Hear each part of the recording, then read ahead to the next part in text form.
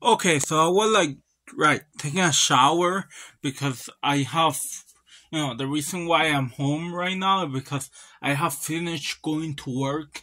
So basically, I was taking a shower in the house, right? And the water, I think I get bad luck naturally now. So the water, right? the water left, right?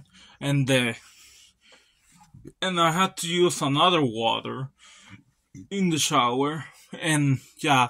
And also i think i got a little bit of shampoo in my eyes. So yeah.